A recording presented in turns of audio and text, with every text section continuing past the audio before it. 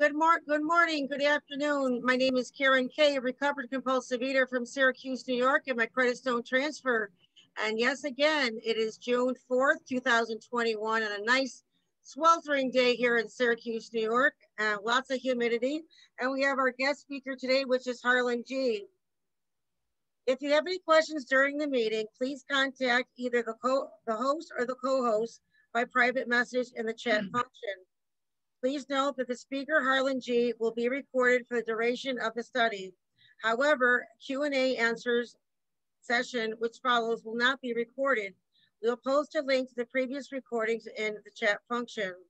We ask that you make sure your microphone is on mute at all times today during the study. Please also turn off your video if you're exercising, eating, or if you need to step away from your screen for any reading reason. And I've also put in the chat uh, the uh, seventh tradition. And it will do no more bit ado. Let's welcome Harlan G. Please unmute thank Harlan. You. Thank you very much, Karen, and thank you to everybody who makes this meeting possible. This would this this is not anywhere close to coming in and listening to me. There are people behind the scenes who record these. There are people behind the scenes who do enormous service so that these recordings can be accessed and so on. So I'm eternally grateful to all of you who make this possible. It's Saturday, the 5th of June, 2021. And whether you're listening on recording or you're listening to this live today, I hope it's as beautiful a day where you are as it is in Arizona today. In Scottsdale, Arizona, it is just a God given day. I get out in the morning and I do my walking, and wow, what a beautiful day it is today. We have been talking and we are in the chapter To Wives. And in just a few minutes, we'll be at the bottom of page 105. But before we get to that point, let's kind of review, as is my want, of some of the things that we have been talking about in this chapter To Wives. And even though the title of the chapter for some can be rather off putting, because what it calls us back to is a, an image, at least that I get a picture of, an image of a rough and tumble alcoholic man and his little doting wife. And what we're going to learn, and if we just if I we just keep our minds open a little bit, which is what I had to do, the chapter is about so much more than that. It's about how we interact with each other, how we interact with sponsees, how we interact with our sponsors, how we interact with the world around us. And no matter who you are, you have to interact at some point with people around you. And so this chapter can be rather eye opening of the narcissism, the ego driven madness that can cause me to take my will and my instincts where's mine where's mine where's mine and take that to such absurd extremes. And my script and my machiavellian machiavellian desire to get my way and engage in the self-pity and the attention-seeking behaviors that i dwell that i love so much that are like a, a, a drug to me that they can destroy the relationship between me and others. And ultimately, if I engage in these self seeking behaviors, they can erode my relationship with God, my higher power. And what else can they do when that is in place? They can drive me back into the arms of a Nestle's Crunch Bar. Because what happens is my brain, my soul, will search for that effect. And what is the effect? The effect is that sense of ease and comfort that comes instantly by eating certain foods. And I eat the foods in search of this effect. And then what happens is I trigger the physical allergy. So, is this chapter tied in to the steps? You bet that it is. Because again, just to kind of review, let's take a look at something important the chapter working with others is about the 12th step, but the 12th step is a definite three part step. The first part is having had a spiritual awakening as the result of the steps. The second part is we tried to carry the message, this message to compulsive overeaters. and the third part of the step is that we practice these principles. What are the principles? The principles are the steps. We practice these principles in all of our affairs. Now, let's take a look at how brilliantly the book is laid out. What's the first chapter after seven is eight, and it's to, to wives. The next chapter is going to be to the family afterward, and the next chapter is going to be to employers. What are my three most predominant areas of affairs? My wife, my spouse, or the people closest to me. And then it goes into the family, and then it goes into the workplace. So these are very, very important chapters. Now let's take a look at page 105 at the bottom, and I'll give you a second to catch up with that. If we turn to that page and we turn to that paragraph, we seldom had friends in our homes. At the bottom of the page, this is where we're going to pick it up for today. We seldom had friends at our homes, never knowing how or when the men of the house would appear. Now, let's just take a look at that sentence and let's take a look at something that calls us to look at our disease. And the word that jumps out at me from my childhood, my mother, now I've told you that my mother was profoundly mentally ill. My mother had three distinct personalities. She could be a screaming, raving lunatic, she could be a two year old, or she could be a fairly together person. My father was about as steady as a rock. My dad was pretty much the same all the time. He, he didn't he, he wasn't very moody. They were both compulsive overeaters.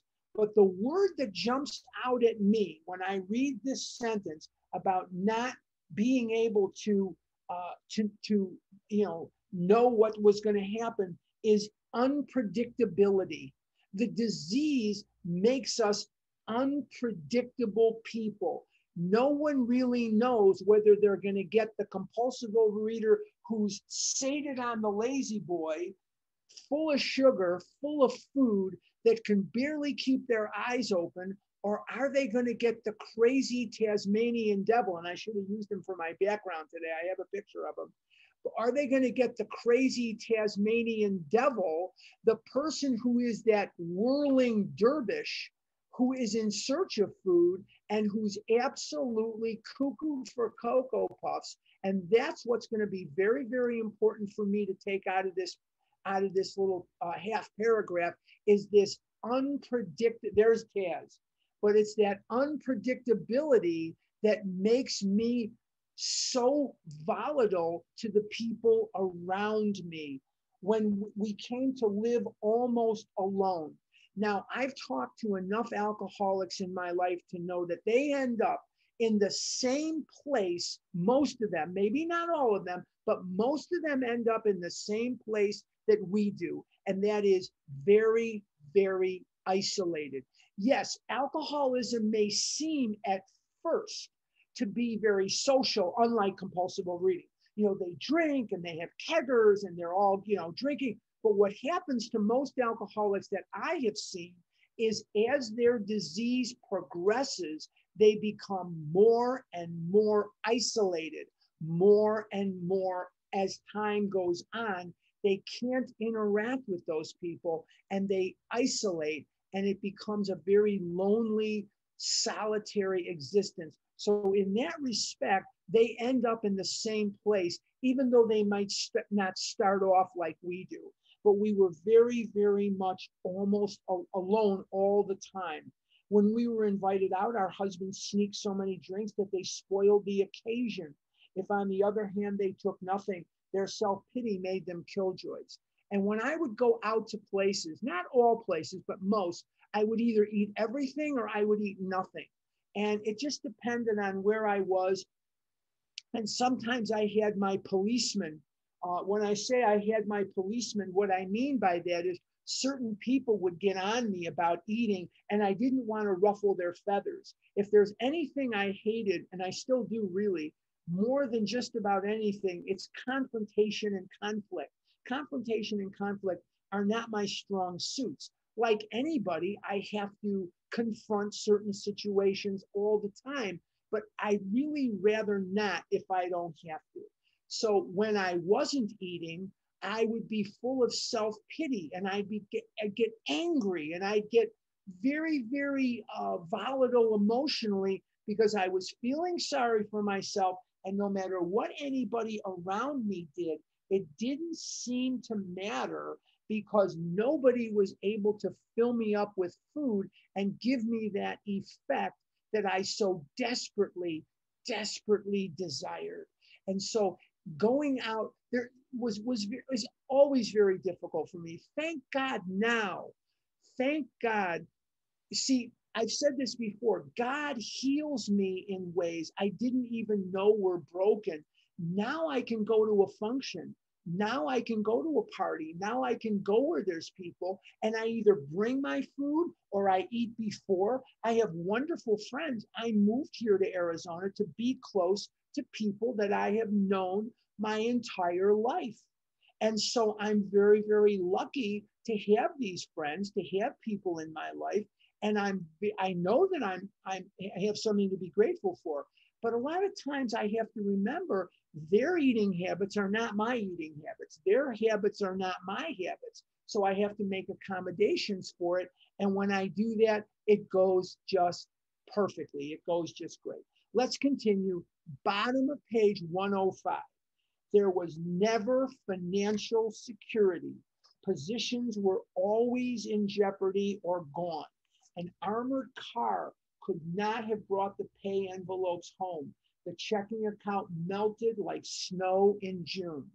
Now, I want to bring you back to a time in the 1970s and early 80s. My food habit at that time was about 100 to 150 dollars a day and my income was nowhere near that wrote a lot of bad checks did a lot of stupid things did a lot of very bad things so I lived in that insecurity and knock wood today through the grace of God, through the steps and fellowship of this program, through the mercy of God, and through all of you who have pulled me through the muck. My credit is so good that I can buy a car with the change without even the change in my pocket being put down. I have a brand new car sitting outside my home and I paid cash for it but they said to me several times at the dealership, they said to me, if you want us to finance it, here's the situation, here's the deal. There were banks in Chicago at one time that would not have given me five singles for a five cash because I had alcoholic credit. And it took a long time, and it took the patience and love of friends. It took the patience and love of God. And it took a lot of hard work on my part and the part of my higher power to bring me to the point today where that is no longer even close to the case.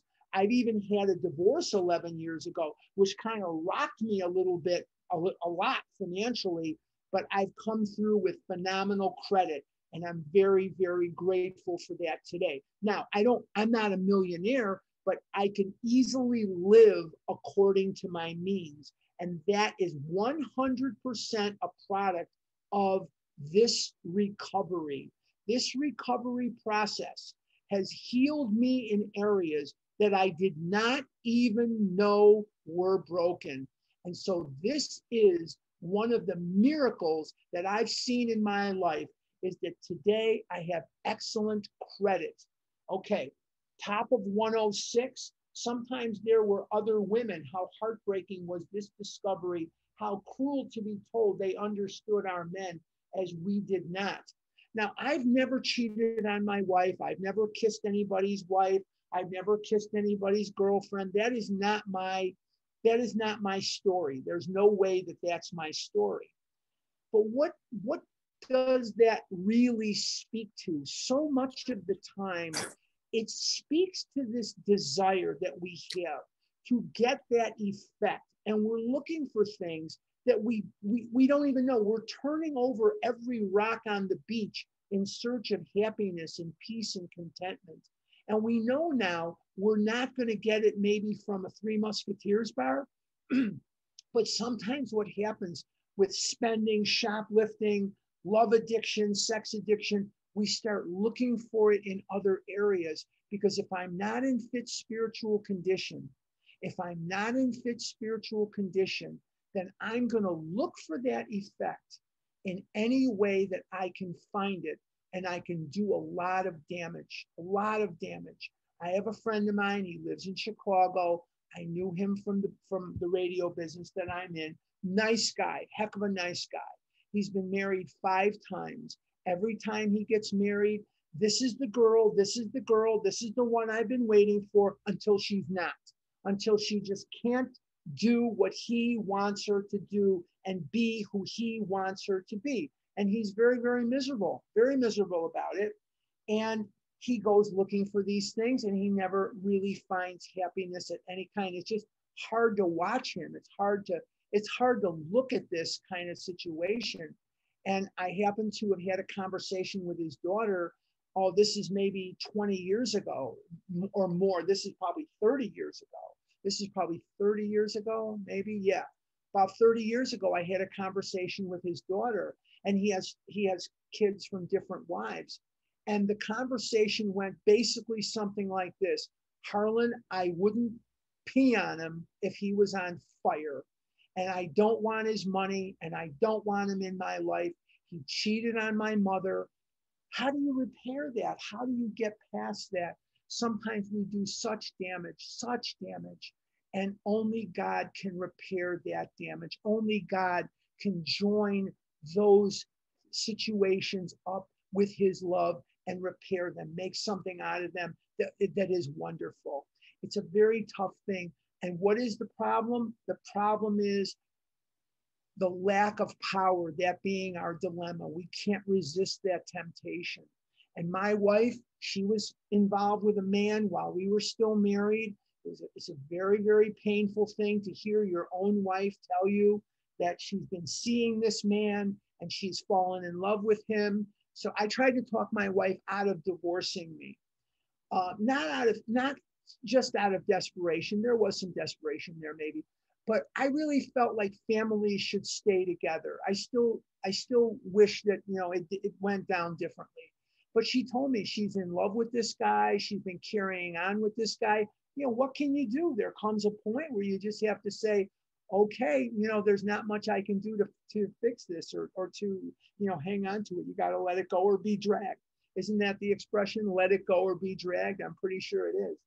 All right, top of 106 the bill collectors, the sheriffs, the angry taxi drivers, the policemen, the bums, the pals, even the ladies they sometimes brought home. Our husbands thought we were so impo- inhospitable.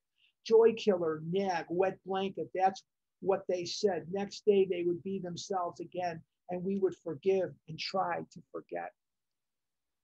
It is very, very difficult for a non addicted person to understand the mind of the addict.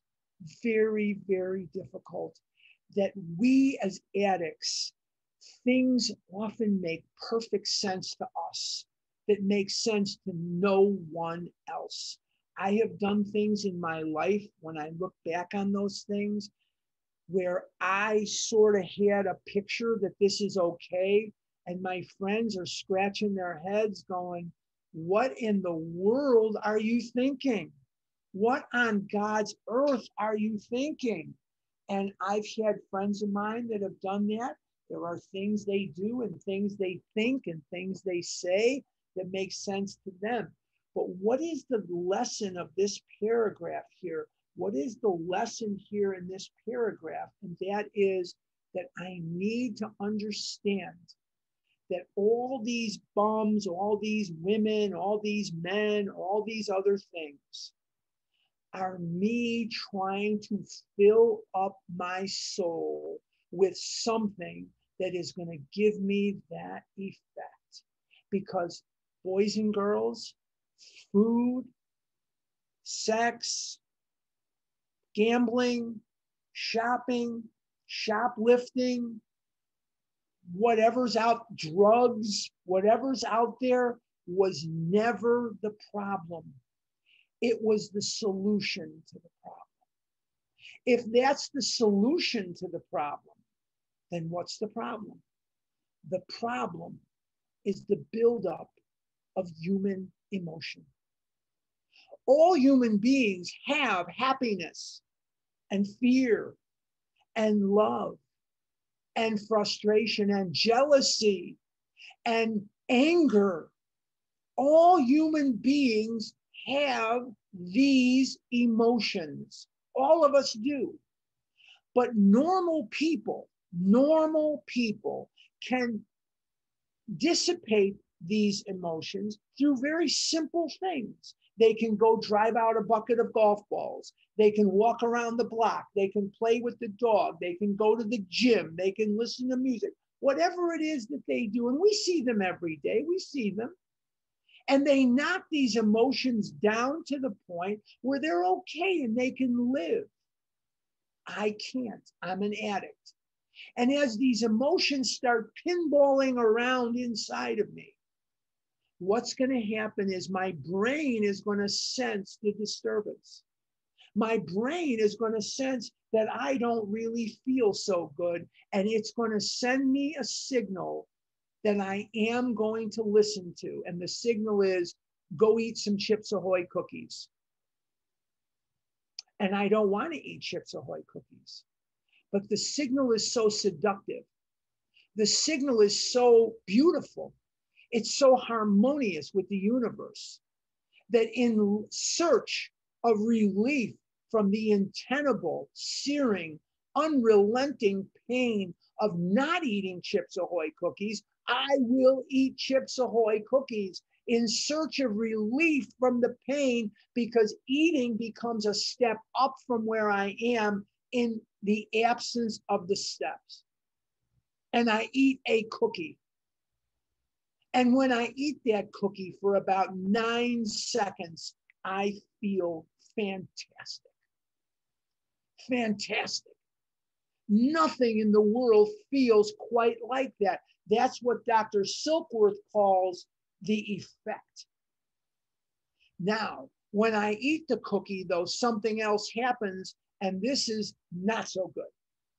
I'm going to trigger, whether I want to or not, whether I know it or not, whether I want to or not, I am going to trigger the physical allergy.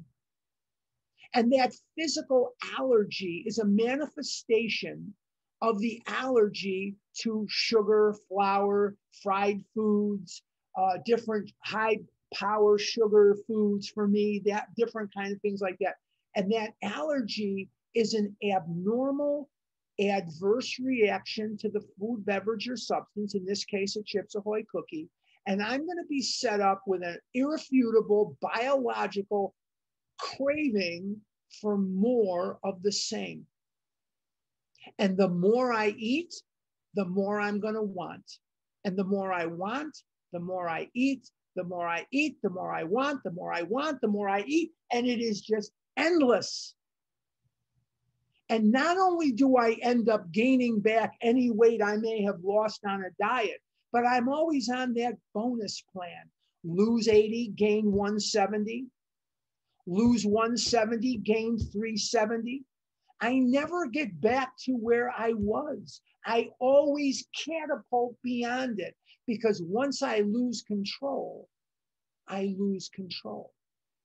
So when I'm looking for love in all the wrong places, or I'm shoplifting, or I'm engaged in love addiction, or I'm engaged in alienonic behavior, trying to control people, trying to write the script for the people around me, it's all going to boil back to the same thing. So we can tie it together and it becomes less about the wife, less about these other people, and more and more about us as the addict. I hope I'm making that clear because the point I want to make is this. This is not a chapter of us looking at the behaviors of others, either cynically or sympathetically. Whether you're looking at the behavior of others sympathetically or cynically is not the point. The point isn't to look so much always at the behavior of others. The point is we're looking at our own behaviors. We are addicts. We are food addicts. I'm a compulsive overeater. I was 335 pounds by the time I was a senior in high school. I was 500 pounds by the time I was a sophomore in college. I was 600 pounds by the time I graduated college and 700 pounds by the mid to late 80s. There are people on this line. I, I definitely know at least one or two. I don't know if they're still on the line. I know one is one I just interacted with before the meeting, and there was another one just take this person for an example. Uh, this is a person who, if you looked at this woman, you would say to yourself, this is obviously a model or a movie star.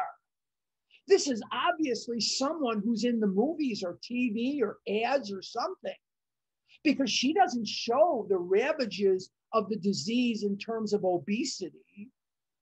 She's an exercise bulimic.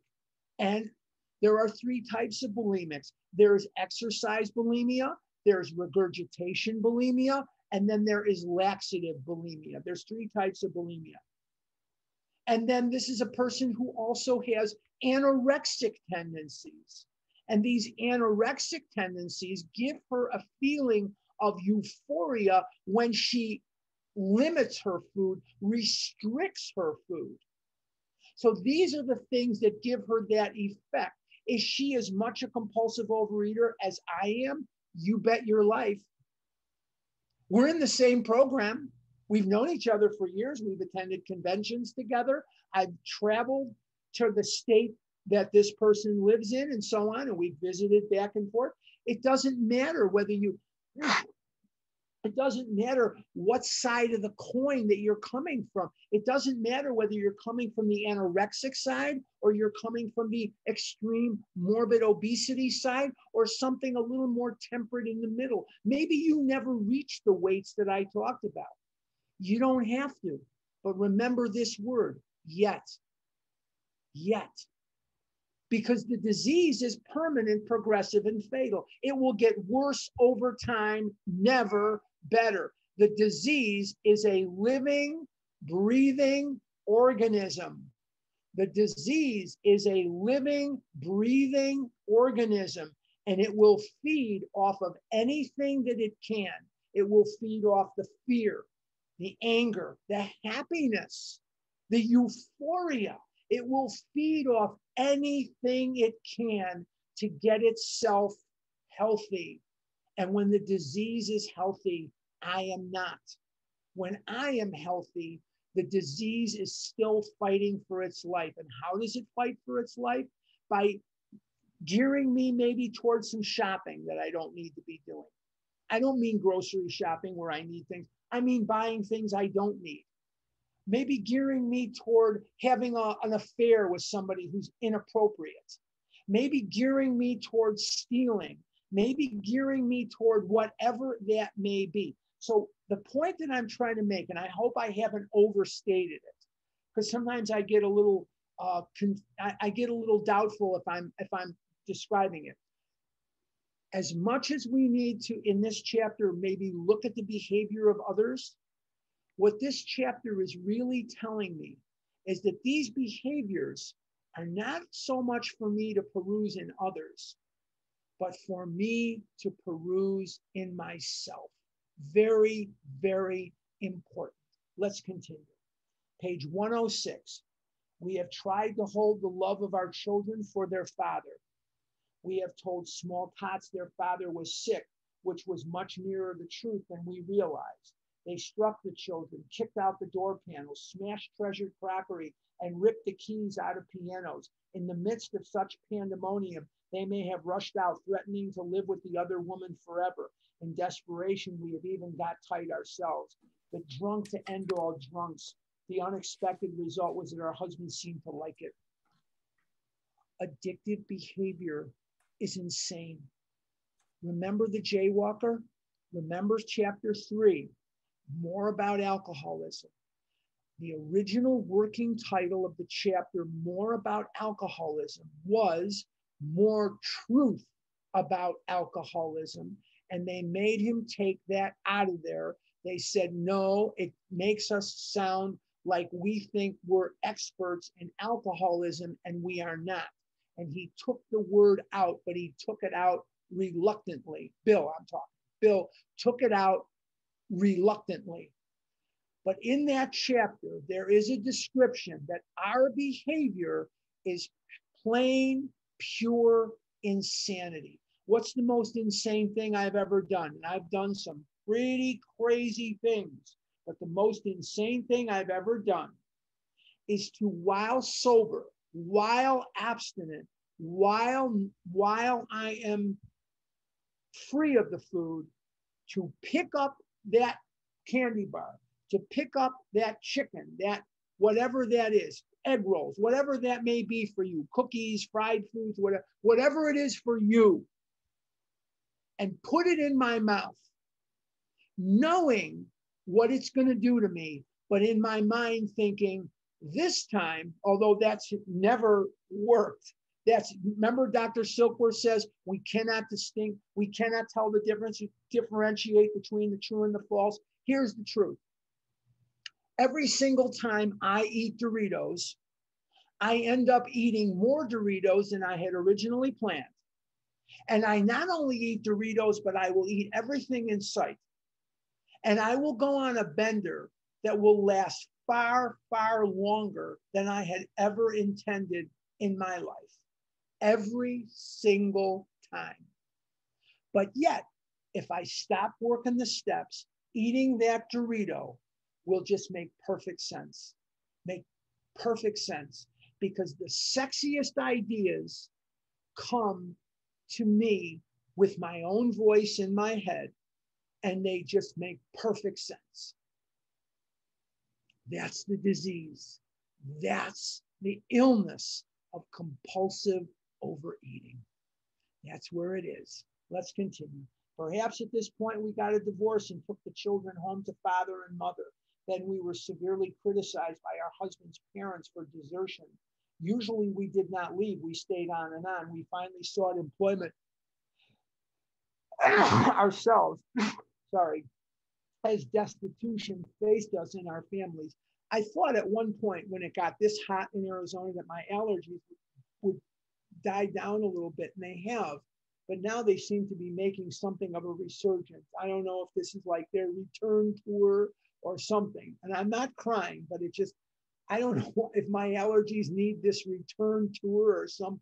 I don't know. But anyway, okay we began to ask medical, I'm at the bottom of 106, guys.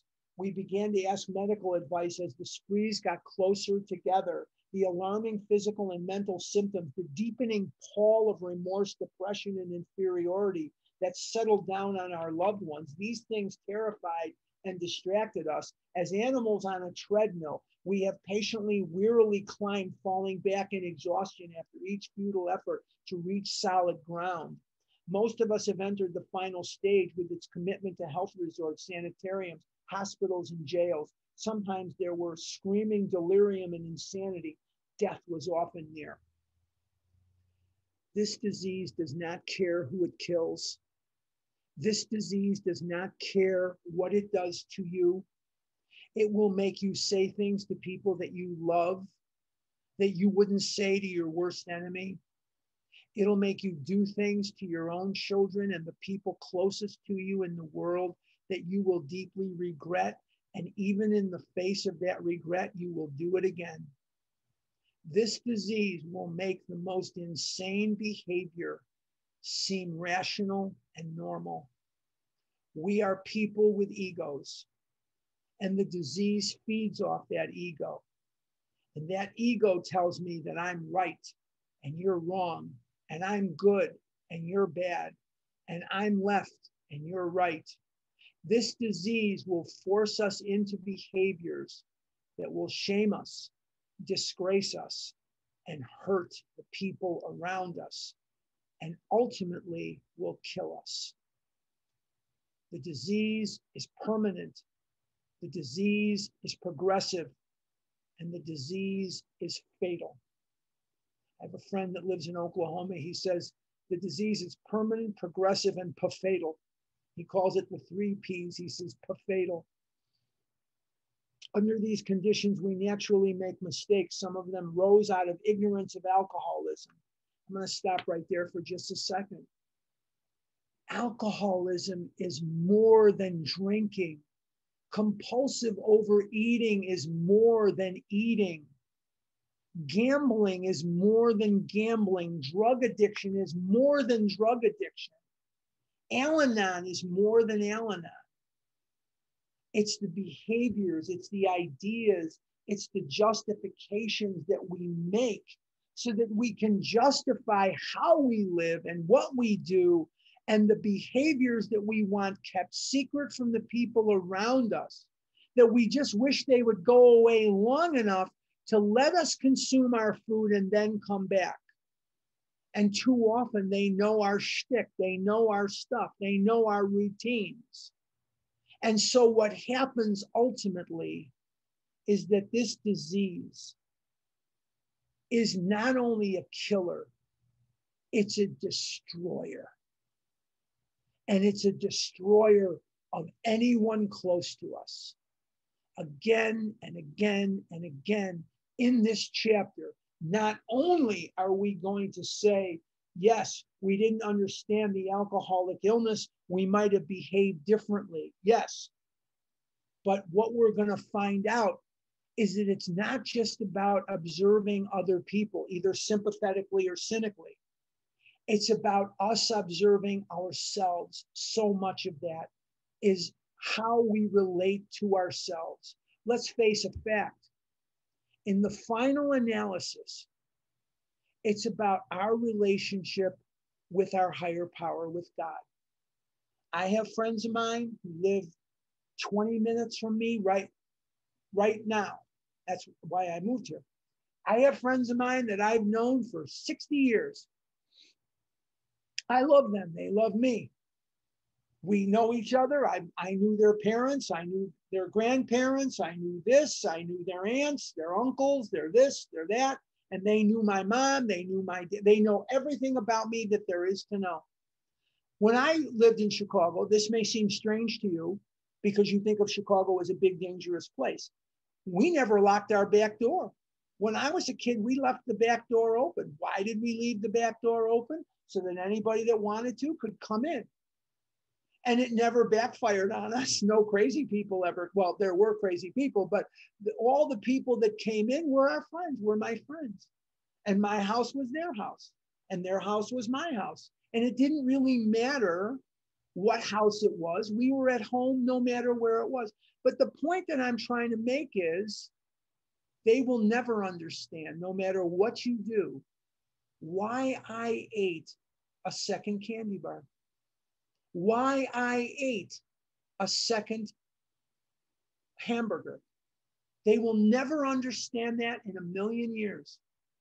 And because they don't have the disease of compulsive overeating, they were not subject to the behaviors that we're describing here. So they couldn't understand why a lot of my behaviors manifested themselves and why my behaviors were so debilitating when theirs were not. I destroyed my own life, not because of some hatred of myself, even though that's what it appeared. I didn't destroy my life because I hated myself. I destroyed my life because I listened to the disease and I ate food that took me out of the running for every dream that I dared dream. Every dream I ever dreamed of getting a good job, of, dating, of love, and of, of whatever went up in smoke. It went up in smoke, and I ended up selling on the phone, even though I hated it. I hated it then, I hate it now. What was I supposed to do? I was five, six, seven hundred pounds. Where was I going to go to get a job? Who was going to hire me? unless they needed a new freak at the zoo or the circus, who the hell was going to hire me? Nobody was going to hire me. Nobody. Thank God today I can report to you that I make a living. I'm not rich. I, I wish I could retire. God, I wish I could stop doing this. But you know what? My bills are paid. My house is mine. I'm off, I pay my mortgage, but you get the idea. I own my home. I paid cash for my car. So God stepped in and said, I'm going to make something good out of this, Harlan. Get out of my way. Get out of my way. My dad couldn't get out of his own way. My dad died. He wasn't worth this notebook financially. He wasn't worth $10 financially when he died. But my dad died where everybody loved him. And he was a lovable guy. He was a sweet guy. Everybody liked him. There were a ton of people at his funeral. That place was packed to the rafters. There wasn't a seat in that place. They had to bring extra chairs in in the back, as I recall, when my father died. That's the kind of person that he was. If he had $10, he'd give you 20.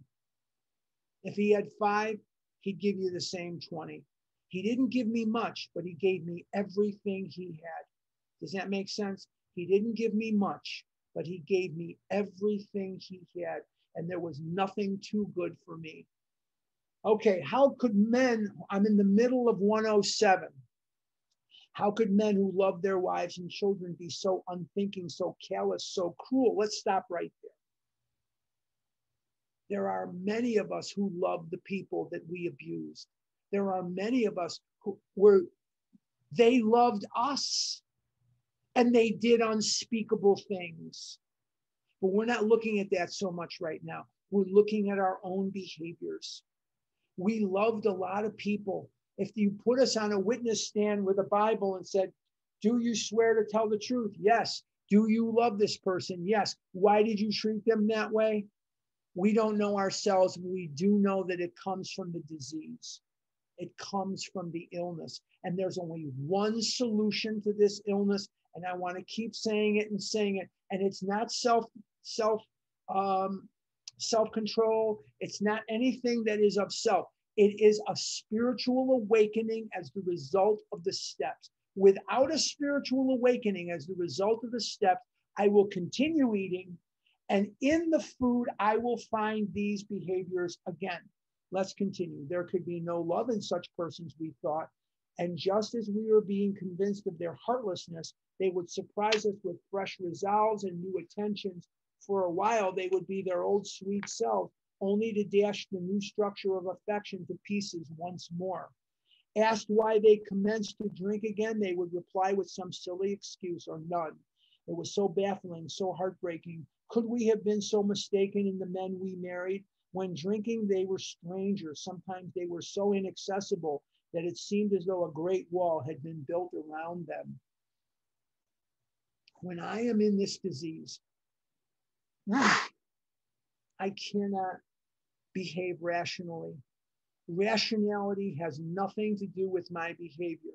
I'm going to either overreact or underreact. I'm either going to go to catastrophizing or being scared to death. I'm going to go to anger. I'm going to go to fear. I'm going to go to extreme behavior. Extreme behavior. In the recovery, I can pause when agitated or doubtful. Somebody's unmuted. I can pause when agitated or doubtful. What do they mean by pause? To me, it means step 10.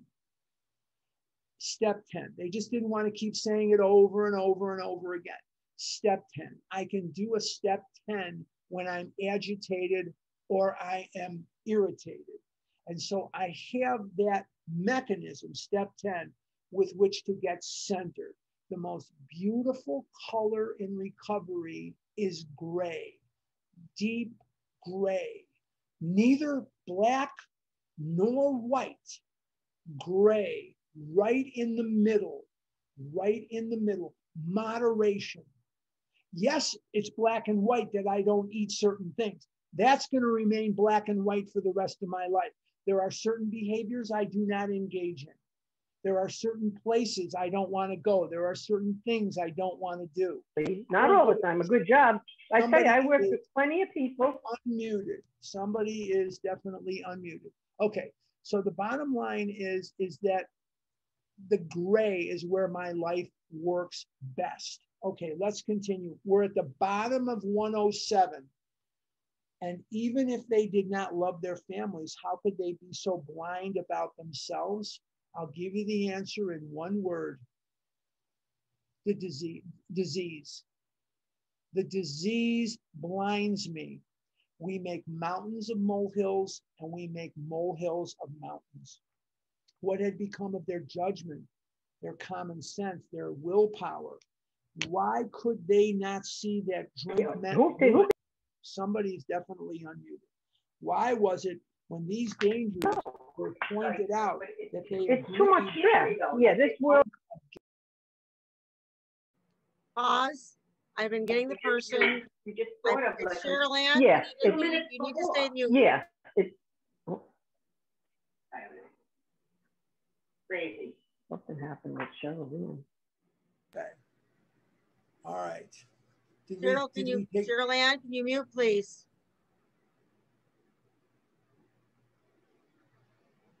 Okay, Okay. we're okay, Good. Harlan. Right. Sounds good. Okay. Top of 108. We got drunk again immediately. Why did I get drunk again? When I say I got drunk, I don't mean on liquor, I mean on food. I'm just using the terminology of the paragraph to try to make it a little more understandable. Why in the world would I do this again and again and again and again and again? Why is it that Dr. Bernstein at Edgewater Hospital screamed and yelled at my mother in 1970 when I broke my ankle at Mather High School in Chicago on the north side. And he screamed at my mother and said, He is over 300 pounds. He is 17 years old. He isn't going to live to see 30. And we went to an ice cream place on Devon Avenue and tried most of the 31 flavors right after that. Why? Because we were both compulsive overeaters. That's what we do, unless acted upon by a spiritual awakening as the result of the steps. I'm going to continue these behaviors because I've got no other solution. Remember that food is not the problem, food is the solution to my problem. It is not the problem. There are some questions. I'm at the top of 108. These are some of the questions which race through the mind of every woman who has an alcoholic husband. We hope this book has answered some of them. Perhaps your husband has been living, sorry, in that strange world of alcoholism where everything is distorted and exaggerated. And this is one of the key sentences in this entire chapter. Forget about the husband and wife dynamic here. It's not important. What's important for me to know here is that I am an addict. And when I am in my addiction, I live in a world where everything is distorted and exaggerated. Now, when I say I distort and exaggerating and, and, exaggerate, that doesn't just mean that I make a big deal out of everything. I made a small deal out of what was happening in my life, that my life was going to hell in a handbasket that I was living in a world of eating and not eating. And I was living in a physical world where I could not function physically. I was living in a world where I was three times the size of anybody around me, four times the size of anybody around me. I couldn't get in a car. I couldn't get out of a car. I couldn't go to a movie. I couldn't fit in the seat. I couldn't walk. I couldn't stand. I couldn't bend. I couldn't I couldn't function in the world. I went on my first date with a girl. I was 35 years old when I went on my first date. You think I chose that? I was unhealthy. I had swelling in my lower extremities. I still do to some degree, but I had swelling that was so fierce that it was as painful as, as you drilling into my head. And yet, the only solution that I had was more and more eating. So, exaggeration and distortion does not just mean I overdo something, it is also to see and minimize, minimize, not minimize, minimize what was going on in my own life. Where I wasn't washing myself properly, where I wasn't taking care of myself. I wasn't putting on clean clothes every day. I wasn't doing the things I needed to do. There are so many manifestations of the illness that it's not just about eating and not eating. You can see that he really does love you with his better self.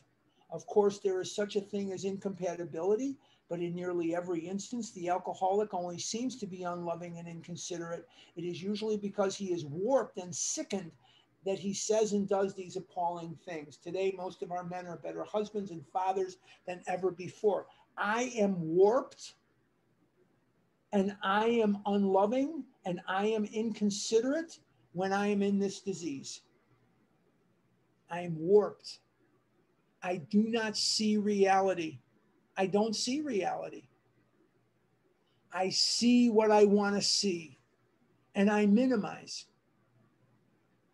And it is only through sponsoring and only through my interactions with other compulsive overeaters that these things become more apparent to me because I can see myself through your stories. And hopefully you can see yourself through my story.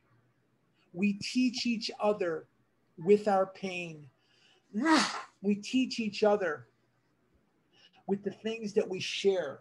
We teach each other through the examples that we set. Some of us, regrettably, are going to become cautionary tales, and some of us will be examples to follow. I would rather be an example than a cautionary tale. My friend Sherry in Chicago, I should have married her, but I didn't. I was too stupid. She's been dead now for 20 years, a little over 20 years, probably 24 years, 23 years. She was a therapist, therapist. What a doll. What a what an unbelievable intellect. The world is less artistic. The world is less um, purple. She loved the color purple. Oh, she loved everything purple. Uh, the world has less blues music aficionados now that she's gone. And she died at about 400 pounds alone in her condo in Chicago on Marine and Montrose because she would not put the food down until she could do the forensic analysis of why she was eating it. If you're looking to figure it out, stop. Forget it. It's a waste of time. Here's the why that you're looking for you have an allergy of the body and a twist of the mind. The allergy is when the food is inside of you, causes you to eat against your will. And the twist of the mind makes it impossible for you to stay stopped because the mind is in search of the effect. What is the effect? It is that sense of ease and comfort that comes instantly by eating certain foods. Here is the solution work the steps, work them every day. Work them every day for the rest of your life and don't stop working them ever. Remember my friend Naomi in New Jersey? She came up to me. I was doing a retreat there and she came up and said at lunchtime, she says, Can I call you when I'm done with the steps? And I said, No. And she said, Why not? She looked at me like I had seven heads and I was purple. I said, Because when you're done working the steps, you'll be dead. And as far as I know, there's no phone in the box. And she laughed. And to this day, she and I can laugh about that. And I have her permission to tell you the story.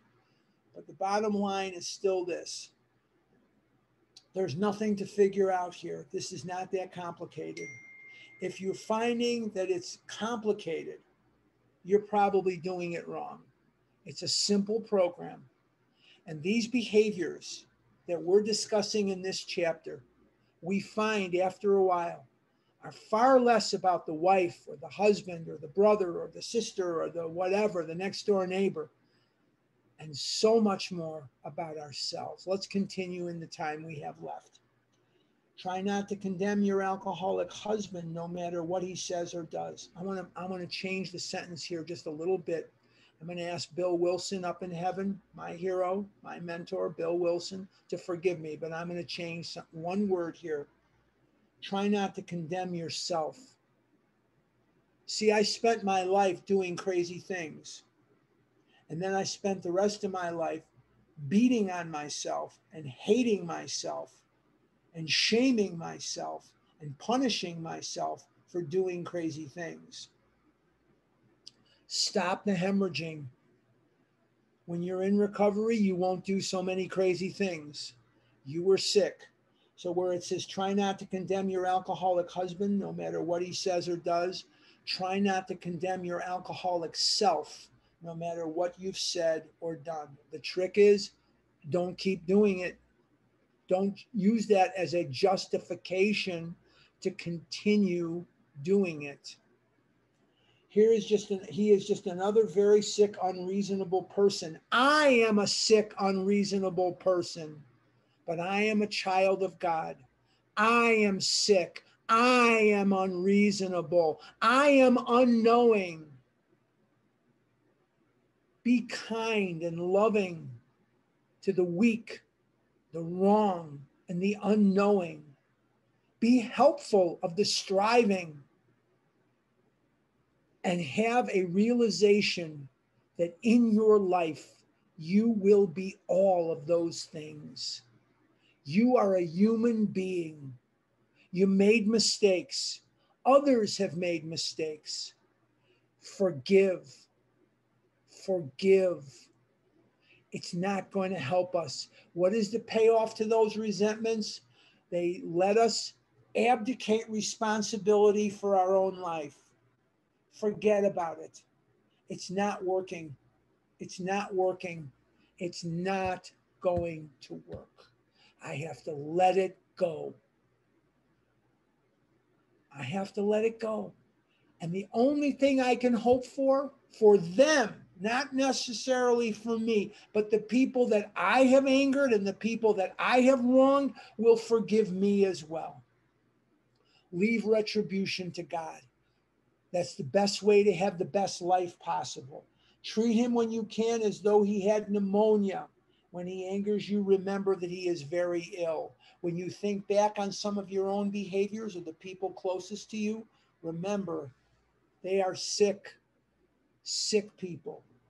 There is an important exception to the foregoing. We realize some men are thoroughly bad intentioned, that no amount of patience will make any difference. An alcoholic of this temperament may be quick to use this chapter as a club over your head. Don't let him get away with it. If you are positive he is one of this type, you may feel you had better leave.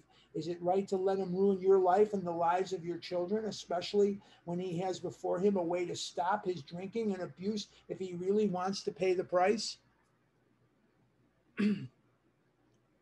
there is recovery available to anyone who wants it. There are 118 of us on the line this morning. After the question and answer period, if you are on the struggle bus, if you are on the struggle bus and you need a sponsor or you need something, there are going to be people that are going to be on this line and they will help you.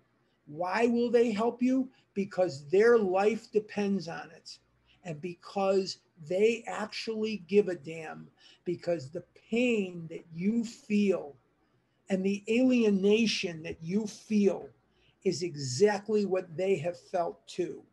They understand firsthand what it's like to live in the world that you are living in right now, where you just can't seem to see the forest through the trees.